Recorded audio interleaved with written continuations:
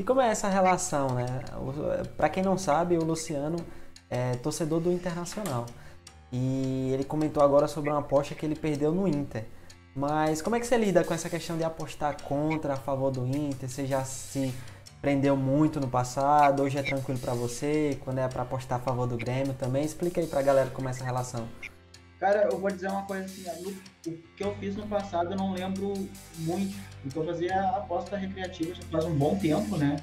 Então eu vou dizer quando eu mudei a chave. Quando eu mudei a chave ali que eu, eu me tornei uh, pro lado pro, uh, pra mim é bem tranquilo apostar tanto contra quanto a favor do Inter, sabe?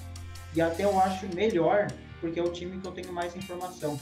Por mais que eu tenha toda essa informação assim dos times, principalmente da Série A, Série A e Série B, o Inter eu vou acabar seguindo, por exemplo, algo a mais, sabe? Às vezes alguma coisa de torcedor, às vezes alguma influência do time, às vezes algum scout próprio do, do time.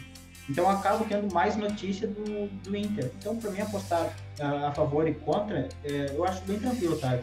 Porque eu, eu tenho que agir na, na, razão, né? Não na emoção. E, e para mim, eu fiz a aposta contra o Inter, por exemplo, eu vou, vou torcer pro Inter, vou ignorar a aposta que eu fiz, só que eu vou ter feito a aposta igual, né?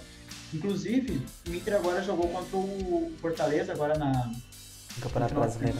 Isso, Campeonato Brasileiro. Uh, quando saiu a escalação do Inter, eu vi que a escalação estava toda desconfigurada. A minha escalação não gostava do Inter. E aí automaticamente eu olhei o, o DNB do Fortaleza que me dava um grande valor, sabe?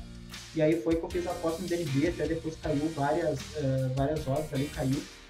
Uh, e acabei de, ainda durante o jogo, depois que o, até o Inter me surpreendeu, porque foi pior do que eu pensava durante o jogo.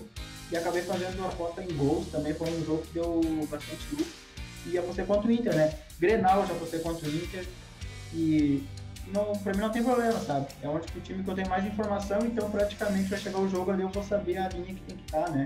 Bem, bem mais fácil. Sim. Pois é, cara. Tem muita gente que tem dificuldade em apostar no time do coração. Sempre acaba apostando a favor, torcendo contra o rival. E leva muito a emoção na frente da razão. Eu digo isso porque eu tenho contato com vários apostadores é, principalmente no meu, aqui no canal no YouTube, e a galera fica, fica brava quando eu falo que, ah, eu acredito que o, o time tal vai vencer a equipe que eles torcem, por exemplo. E isso prejudica muito, né? Você também consegue enxergar muito esse, essa questão do, do clubismo dentro das apostas?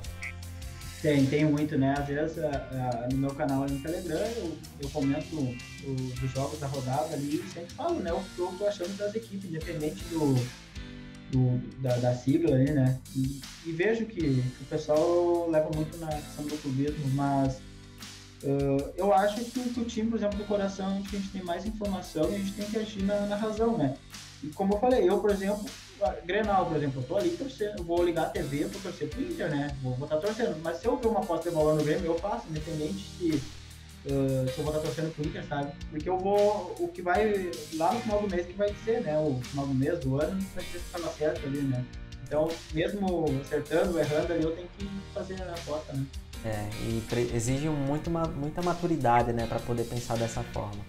É, eu também tenho uma certa facilidade de entender o potencial sobre o meu time do coração, principalmente quando o jogo é grande, quando é jogo decisivo, é final de um campeonato estadual, de uma Copa do Brasil. E como é essa relação, né? Para quem não sabe, o Luciano é torcedor do Internacional. E ele comentou agora sobre uma aposta que ele perdeu no Inter.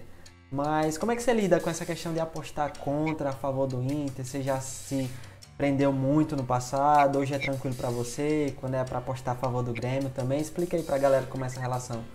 Cara, eu vou dizer uma coisa assim, o que eu fiz no passado eu não lembro muito, porque eu fazia aposta recreativa já faz um bom tempo, né? Então eu vou dizer quando eu